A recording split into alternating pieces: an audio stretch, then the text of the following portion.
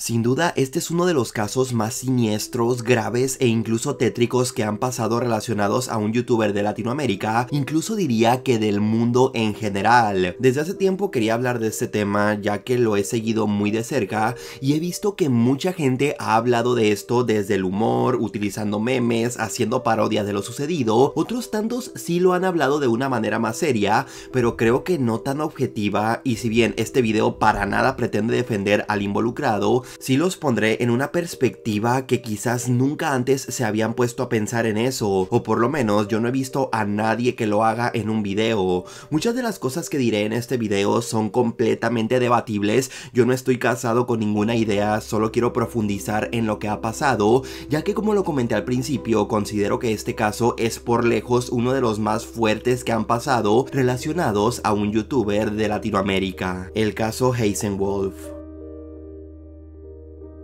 El youtuber Heisenwolf empezó en la plataforma subiendo videos relacionados a Yu-Gi-Oh! Como él era un fanático de la serie y del juego en general, se le hizo buena idea comenzar a crear contenido en base a esta temática. Así es, como la gran mayoría de los youtubers, él también empezó inocentemente desde su cuarto grabando sus videos, compartiendo algo que le gustaba y poco a poco él empezó a cobrar algo de fama y a crear una comunidad. Pero obviamente como el tema de hablar solamente de Yu-Gi-Oh! Es algo muy de nicho, es decir, no hay tantas personas que consuman ese contenido, pues su crecimiento era muy lento y llegó un punto en donde se estancó. No sabía él qué subir exactamente por lo mismo de que ya se le habían acabado las ideas sobre Yu-Gi-Oh para nuevos videos e incluso él comentaba que ya no disfrutaba de seguir subiendo ese tipo de contenido, por lo que fue ahí que decidió darle un giro a su canal, haciendo contenido de otro tipo de cosas que fueran más fáciles de consumir para las personas en general, y tras varios intentos por fin dio en el clavo. Heisenwolf creó una sección en su canal llamada 3 minutos o menos, en la cual se podría decir que daba alguna crítica sobre algún tema en específico de una manera digamos graciosa y siempre en menos de 3 minutos. Supongo ahora entienden por qué se llamaba 3 minutos o menos. Los juegos del calamar en 3 minutos o menos, basados en 3 minutos o menos, generación de cristal en 3 minutos o menos y así sucesivamente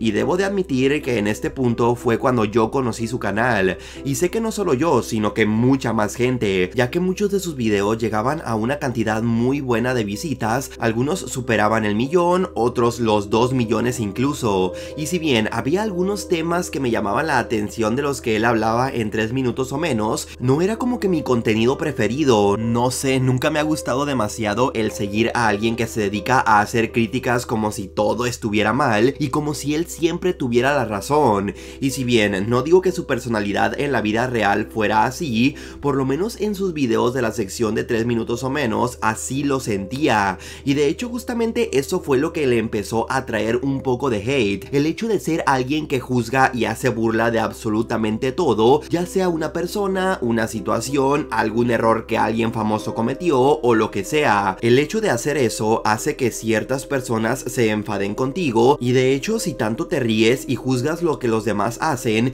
supongo mucha gente está esperando a que tú cometas un error para hacer lo mismo contigo, es decir, reírse y burlarse de lo que acabas de hacer. Y oh vaya que esto sucedió, pero bueno, no me adelanto. Algo que quiero aclarar es que si bien yo nunca tuve ningún tipo de interacción con este youtuber, por lo menos que yo recuerde, y si bien su contenido no era mi favorito, tampoco es que me cayera mal ni nada. Literal, no lo conocí en persona, pero en algún punto vi algunos de los directos que él hacía donde se podía ver un poco más su personalidad y no tanto la de su personaje y pues ahí noté que era una persona con bastantes inseguridades y si bien yo no soy psicólogo o algo por el estilo, fue esa la impresión que a mí me dio. Incluso se veía, se escuchaba y actuaba como el tipo de persona que sufre de depresión. No sé si depresión en lapsos, no sé si realmente era algo con lo que batallaba día a día, pero bueno, repito, esa fue la impresión que a mí me dio, e independientemente de la actitud criticona y juzgona que él tenía en sus videos, tampoco se le veía mala persona, por lo menos en sus directos donde quizás su personalidad salía más a relucir. Supongo simplemente era un chico que estaba viviendo su momento y disfrutando de él. Pasaron los años, el canal de Heisenwolf tuvo altos y bajos, pero ahí se mantenía, y en una ocasión este youtuber subió a sus redes sociales una foto bastante peculiar donde se le podía ver que se había comprado un coche deportivo, un Camaro, y bueno, digo que fue sorpresa para muchos ya que siempre se le había visto a Heisenwolf con un perfil un poco más bajo, y ojo, no tiene nada de malo hacer dinero en YouTube y con él comprarte lo que tú quieras, pero simplemente fue algo un poco extraño el hecho de verlo con este tipo de lujos y presumiéndolo en redes sociales. Quizás yo diría que en ese momento tal vez y solo tal vez quería demostrarle a las personas uno de los frutos por los que tanto había trabajado, o igual y simplemente se sintió feliz por poder comprar ese coche y le dio por publicarlo. Para muchos en ese momento Heisenwolf perdió piso, otros simplemente lo vieron como algo normal, sobre todo si tomamos en cuenta de que a día de hoy todos los youtubers o influencers se la pasan subiendo sus lujos, así que bueno, él era uno más. A pesar de todo, Heisenwolf, por más que se sabía que él no pasaba por buenas rachas emocionales, él terminó sus estudios, se graduó de la universidad en época de pandemia y se le veía algo motivado a seguir adelante con los videos y con todos los proyectos que tenía en YouTube, pero justo un tiempo más tarde pasó algo que no solo le arruinó la vida a él, sino que le arruinó la vida a seis familias completas, ya que la mañana del 19 de septiembre del 2022, él mientras iba manejando su auto deportivo, se impactó con un taxi. Seis personas iban en el taxi, entre ellas una niña de menos de 10 años, y las seis personas perdieron la vida. Solo hubo un sobreviviente en ese accidente, y ese fue Heisenwolf un youtuber identificado como Amado N y que bajo esta plataforma se hace llamar Heisenwolf, estuvo involucrado en un accidente automovilístico que, como bien mencionas, dejó seis personas sin vida en el municipio de Atlacomulco, Estado de México. Una de las víctimas era una menor de 10 años. La primera versión oficial que se dijo fue que Heisenwolf iba a exceso de velocidad, invadió un carril e impactó de frente con el taxi. Justo una noche antes hubo un evento en esa localidad, unas fiestas o una feria, y se tenía la teoría de que probablemente Heisenwolf venía de ahí, él quizás había bebido algo de alcohol, se regresó ya muy tarde, tanto así que ya era de mañana, y fue ahí que perdió el control de su auto. Quizás por los efectos del alcohol no midió su velocidad, quizás se quedó dormido por un rato o puede que ambas. El punto es que por el motivo que sea, él invadió carril e impactó con aquel taxi. Lo que era un poco extraño era que los medios oficiales en sus notas no ponían nada de que Heisenwolf hubiera venido alcoholizado, simplemente decían que él había invadido carril por exceso de velocidad. Incluso yo llegué a creer que lo más seguro es que él no hubiera bebido nada, ya que si los medios que por lo regular son muy amarillistas no pusieron nada de que estuviera alcoholizado, quizás era porque él no había bebido nada y que por otros motivos él ocasionó el accidente. Sea como sea, en ese punto se hizo todo un caos en internet. Todos obviamente estaban en contra de Heisenwolf, ya que pónganse a pensar, Heisenwolf era un youtuber que se burlaba de todo y juzgaba todas las acciones o errores de los demás. Tenía videos mofándose de que ciertos youtubers mexicanos estaban en la cárcel y justamente en uno de esos videos él se ponía a nombrar todas las cosas malas que habían hecho los demás más y él decía que nunca había hecho nada de eso, como diciendo que él era muy buena persona. Incluso decía que no era tan difícil ser un humano decente. Y antes de continuar con este bello video, quiero aclarar que yo no le he pedido fotos a menores, no he abusado de ninguna fan, tampoco he maltratado a mi pareja, no he hecho parte de una campaña política en tiempos donde no se tenía que hacer parte de campañas políticas. En primer lugar, tampoco he estafado a mis seguidores o vendido productos engañosos. Ni les he dicho que inviertan en mi criptomoneda y tampoco he maltratado animalitos bebés. ¿Tan difícil es hacer eso, weones? ¿Tan difícil es ser un humano decente? Así que imagínense la cantidad de personas que estaban esperando a que él cometiera un error para atormentarlo, juzgarlo y burlarse de él, tal y como él lo había hecho con otros. Y vaya que lo que él provocó ni siquiera sé si se le puede llamar con el término de error. No sé si provocar un accidente donde perdieron la vida seis personas se le pueda llamar simplemente como un error. Me refiero a que es algo tan grande que sí, estoy consciente de que fue un accidente, pero literal es algo que no tiene nombre. Ahora bien, después del accidente muchísima gente empezó a hacer parodias de Heisenwolf en la cárcel, a burlarse de él, digo, era como una cucharada de su propia medicina, pero algo estaba mal con todas esas burlas, ya que simplemente con el hecho de recordar que en medio de la tragedia habían seis familias afectadas y no creo que a estas familias les hiciera mucha gracia ver un video de alguien jugando GTA V arrollando a todos con su auto diciendo que era Heisenwolf, simplemente todo estaba muy desproporcionado. Obviamente también había muchísima gente exigiendo en redes sociales que a Heisenwolf le cayera todo el peso de la ley, ya que era lo mínimo que él podía tener como sentencia. Supongo todos pensábamos que él pasaría un largo tiempo en la cárcel, ya que aunque hubiera sido un accidente, pues al final fue provocado por una imprudencia de él. Recordemos que aún en este punto no se sabía si él había estado bajo los efectos del alcohol o no. No fue hasta unos días más tarde que Dallas Review, un youtuber español sumamente conocido, habló por llamada con Heisenwolf después del accidente, y él le preguntó directamente si había bebido alcohol la noche antes del accidente, a lo que Heisenwolf se negó a responder, diciendo que para responder eso tenía que hablar antes con sus abogados y cosas por el estilo. Pero por ahora la, la pregunta, ¿habías bebido o no habías bebido? Te repito, Dallas, no te puedo responder. Espero que lo entiendas de verdad. Entonces me tomo un sí, la respuesta es simple. No, de no te puedo contestar porque te repito, o sea, está el juicio aún. De hecho, lo más que pudo decir fue que según las pruebas que le hicieron, no salió positivo a que hubiera bebido. Pero repito, nunca pudo responder rotundamente con un no, no bebí. Así que muy a mi punto de vista, no hace falta ser un genio para deducir que él sí bebió. Tal y como lo dijo Dallas en esa plática. Si él no hubiera bebido aquella noche, en nada le afectaba el decirlo en esa plática. Si él en verdad no bebió, simplemente lo dice y no pasa nada. La única manera en la que tendría que pedir permiso a sus abogados para responder a esa pregunta o que de plano la omitiera es si la respuesta es que sí bebió aunque fuera un poco.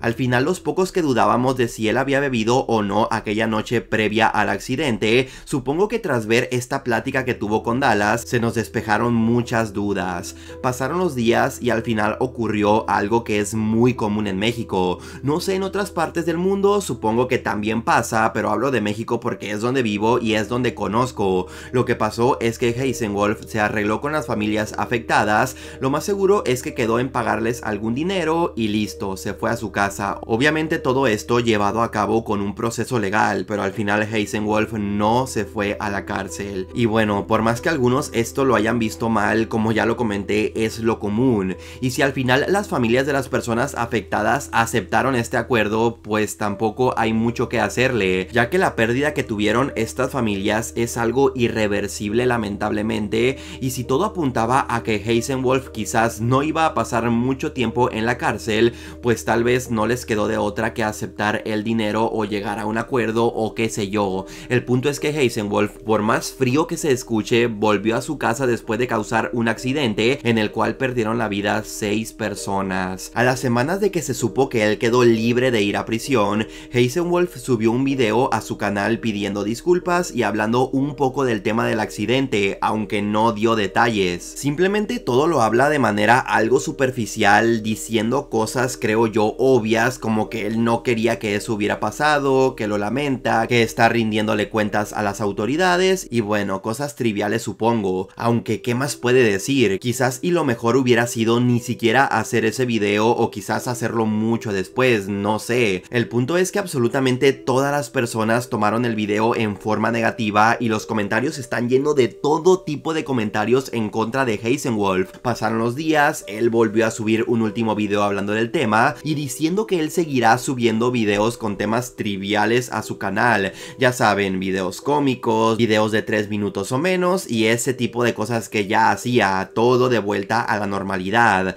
Y sí, en efecto, subió esos videos, pero estos videos se llenaron de comentarios totalmente negativos, y es que por lo menos a mí me resulta completamente imposible, al menos por ahora, ver un video de él con una temática de crítica o comedia de algún tema trivial, sabiendo lo que provocó. Algo con lo que yo al menos no puedo, incluso se siente raro, y por más que estos videos estén repletos de comentarios negativos hacia Heisenwolf, él lo ha seguido haciendo, es decir, ha seguido subiendo este tipo de videos. Mucha gente opina que cómo es posible que él haya acabado, aunque fuera por accidente, con la vida de 6 personas y literal ahora esté como si nada subiendo videos de comedia a YouTube, incluso haciendo chistes un tanto fuera de lugar como este. 2022 fue un año de mierda para mí. wow. Iniciamos con todo. En verdad que si yo fuera un familiar de las personas que perdieron la vida en aquel accidente y viera esto, supongo tendría todo tipo de sensaciones negativas. El punto igual es que yo en lo personal no creo que Heisenwolf en su vida privada esté como si nada. Yo creo que sí tiene un remordimiento muy grande e incluso ha de vivir un infierno día a día. Pero por obvias razones él no va a demostrar eso en un video que en teoría es de humor o es de otro tipo de tema que no tiene que ver nada con el accidente. Y es que una vez que Heisenwolf quedó libre de prisión tenía dos opciones, o continuar con su canal de YouTube ya que supongo quedó muy endeudado económicamente, o dedicarse a otra cosa. Y de hecho muchas personas en verdad que no creían que él volviera a YouTube y empezara a subir contenido como antes lo hacía, ya que sí genera como esa sensación de que en México uno puede provocar un accidente en el cual pierden la vida seis personas, te arreglas con las familias de los involucrados y vuelves a tu vida normal a subir videos cómicos o de críticas. Obviamente yo en lo personal me he puesto a pensar mucho en lo que sucedió. Yo estoy convencido de que Heisenwolf no es una mala persona, de que nunca tuvo la intención de provocar ese accidente y acabar con la vida de esas seis personas, pero al final esto ocurrió. Y esto es algo muy extraño porque esta situación es algo por lo que quizás todos podemos pasar en algún punto de nuestras vidas. Digo, puedes estar manejando, distraer un segundo y acabar con la vida de alguien. Obvio, en este caso si bien no se ha dicho de manera oficial, pues el tema del alcohol es algo que probablemente estuvo involucrado por lo que ya les comenté anteriormente y aquí las cosas sí que cambian, ya que se convierte todo esto en algo más de irresponsabilidad y de haber tomado malas decisiones la noche previa. Y el problema de todo esto es que esas malas decisiones no es algo que terminara en afectarle a él mismo, sino en afectar de manera total totalmente lamentable a seis familias que no tenían nada que ver. Yo lo que creo es que este caso de Heisenwolf fue altamente juzgado y repudiado por la gran mayoría de personas, ya que tiene todos los ingredientes de los cuales ya están hartos muchos, es decir, que un chico que critica todo y juzga todo lo que hacen los demás provoque algo que supera cualquier acción mala que otro ha hecho, también el hecho de que se demostró una vez más cómo funciona la justicia en este país, el que Heisenwolf siguiera como si nada haciendo videos después de lo ocurrido, vaya, tiene todos los ingredientes para ganarse el repudio de muchos. Y sinceramente no sé qué tan bien o mal esté no darle una segunda oportunidad a Heisenwolf. Hay personas a las cuales se las dan, personas a las cuales sí llegaron a quitarle la vida a alguien intencionalmente, es decir, que no fue un accidente, o personas que han cometido crímenes peores y al final si bien la sociedad los juzga por un tiempo, en muchos casos demuestran haber cambiado. Supongo en este caso algo que afectó mucho es que no ha pasado nada de tiempo de lo ocurrido y a la vez la mayoría opina que Heisenwolf más allá del remordimiento personal y del reparo económico no tuvo un verdadero castigo por lo que hizo o en otras palabras no tuvo la cárcel que merecía. Y todo esto sí que genera una sensación rara como de que no hubo justicia ya que yo también tengo ese sentimiento de creer que no tuvo el castigo que merecía y que alguien no puede o no debe volver a hacer videos así nomás porque sí después de algo como lo que ocurrió, pero a la vez si me pongo en su lugar y si yo hubiera sido el que cometió aquel terrible accidente, pues supongo me bastaría el castigo de todos los días despertarme con remordimiento y traumas y de verme todos los días de mi vida al espejo con vergüenza y vivir una vida llena de tormentos y tal vez buscaría consuelo en que las personas me dieran una segunda oportunidad. Pero bueno, al final todo esto simplemente es una reflexión, no hay una respuesta o actitud que sea la correcta, solo el tiempo dirá qué es lo que pasa. Si las personas poco a poco perdonan a Heisenwolf por lo ocurrido o si simplemente es una mancha totalmente irreversible. Y en dado caso de que sí sea lo último, es decir, de que la gente nunca le tolere lo que provocó, tómenlo como un caso que nunca quieren que les ocurra a ustedes. Sean precavidos y si bien uno nunca sabe en qué puede desencadenar una serie de malas decisiones que estemos tomando, siempre traten de que las decisiones que tomen no impliquen un riesgo para su vida o mucho menos para la vida de los demás.